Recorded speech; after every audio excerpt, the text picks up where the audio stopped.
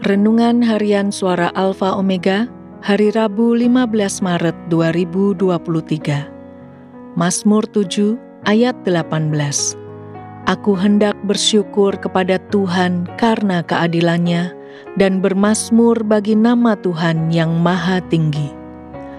Bersyukur merupakan salah satu perintah yang tertulis dalam Alkitab. Apa pun keadaannya, kita diminta untuk selalu mengucap syukur kepada Tuhan. Bersyukur berarti kita sedang mengakui kedaulatan Tuhan dalam hidup kita. Mengapa? Kita tahu bahwa seluruh hidup kita ada di tangan Tuhan, dan Dia yang sepenuhnya mengendalikan hidup kita di dunia ini.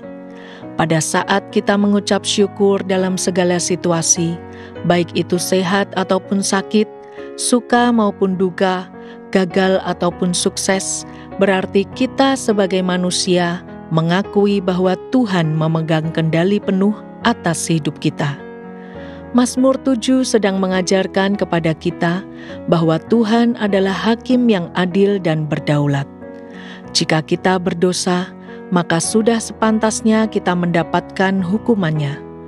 Namun jika kita dijahati orang lain, maka Tuhan pun yang akan bertindak memberikan keadilan bagi kita. Jadi, jika kita menerima sesuatu yang tidak baik, maka kita perlu mengoreksi hidup kita adakah dosa yang telah kita lakukan atau tidak. Jika karena dosa, maka kita harus mengucap syukur karena Tuhan sedang menegur kita dan kita perlu bertobat. Jika bukan karena dosa kita, maka kita pun perlu mengucap syukur karena Tuhan sedang beracara terhadap hidup kita untuk menyatakan rencananya. Mari kita berdoa.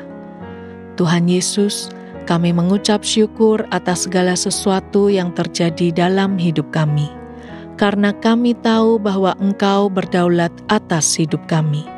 Terima kasih ya Tuhan untuk pertolongan-Mu dalam kesesakan kami. Dalam nama Tuhan Yesus kami berdoa. Amin.